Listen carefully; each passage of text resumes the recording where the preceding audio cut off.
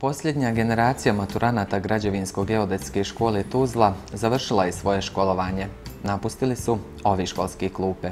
Istovremeno okupili su se ovdje maturanti koji su školovanje završili prije tačno 40 godina.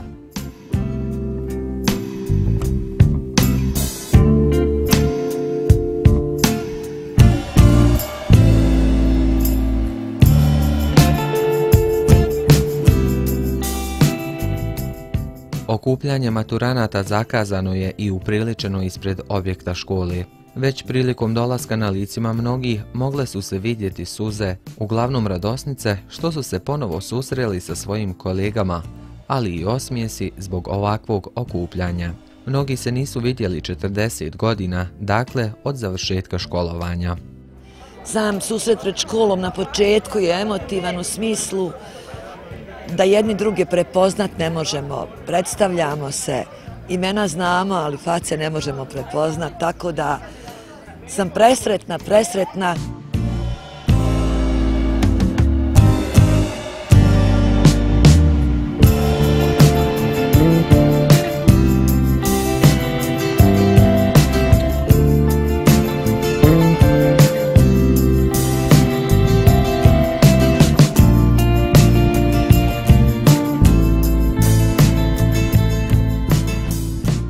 To su emocije koje te vraćaju u najljepše dane života. Najljepše dane života. Suze uvijek. Evo Radmila moja, znači prvo kava pa u školu. Ruta, tenis, znači, pa vidit ćemo, oćemo u školu. Pa sam ja danas htio to promijeniti da mi se nađe odmah na tenisu, pošto ja obično nisam išao prvo na tenis, na kafu pa u školu, pa onda se predomislim ostanem na tenis. Pa rekao da ostanem i sad ovaj put da gore sačekam. A neka, ajde, razina nas, da neće niko ništa teško pitati. Evo danas smo se sreli kao da smo se jučer razišli, kao da nije prošlo tih 40 godina. A, a sastanak je pun emocija, a, zato što smo mi bili jedan toliko jedinstven razred. Danas nema takvih razreda. Lijepili su to bili dani, moglo se čuti tokom okupljanja, a sjećanja danas još ljepša. Dogodovštine su svi imali, svako je bio različit, a tako sličan. Materijalnih stvari poput mobilnih telefona i sličnih aparata tada nije bilo, ali je zato druženje, kakvog u novom vremenu među kolegama nema, tada bilo na prvom mjestu, naravno pored školskih obaveza.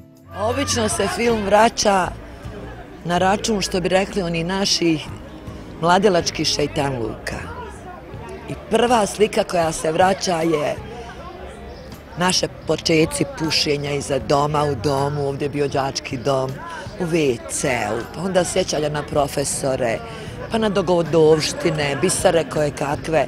I, I uvijek mami osmijeh neki, ti ljudi uvijek mami osmijeh na licu, ne možeš nikako da, da gledaš to tak tako i suzu u oku isto tako. Dani su bili nezaboravni, profesori su bili pravi, učenici, raja bila prava. Sada je malo možda drugčije, to su jaz u generacijama.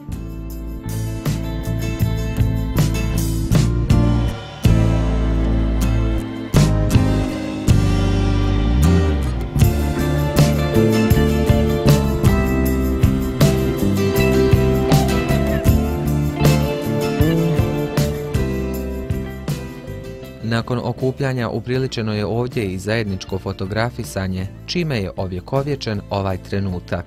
E onda su laganim koracima krenuli u nekadašnje školske klupe. Ovaj put učionica broj 10. Sve je isto, samo njih nema tu, već 40 godina. I ponovo u ovaj četiri zida emocije, suze i radost prozivkom maturanata počeo je čas razredni nastavi koji je predvodio jedini živi razredni starješina iz te generacije, Alija Hamzić, nekadašnji profesor sociologije. Veliki pozdrav od Zrinke, ona je moja kolegica u klupi drugoj, dvije odlične učenice smo bile, srela sam je u misli.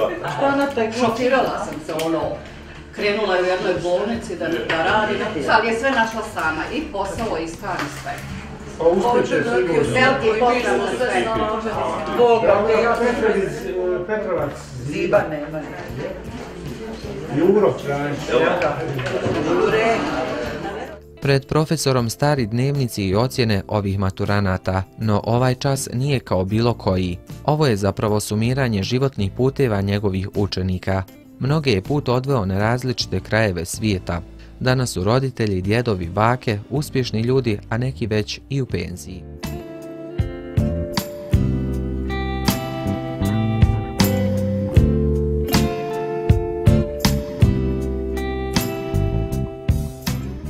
Profesoru Hamziću bila je ovo prva generacija učenika koje je doveo do mature. Vežu me e, velike emocije za taj period. Jer to je bilo vrijeme kad sam ja kao mlad profesor uključio se u, u ovu sredinu. Đaci su bili izvanredni, mogu reći.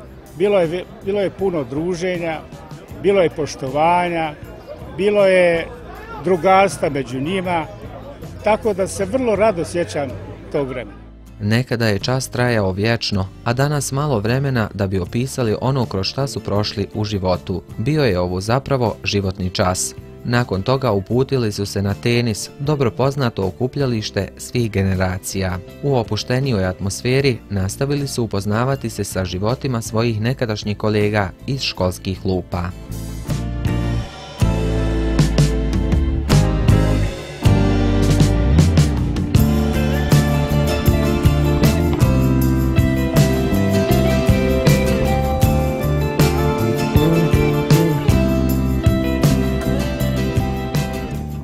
Novo školsko zvono za ove maturante ponovo će zazvoniti 11. juna 2022. godine.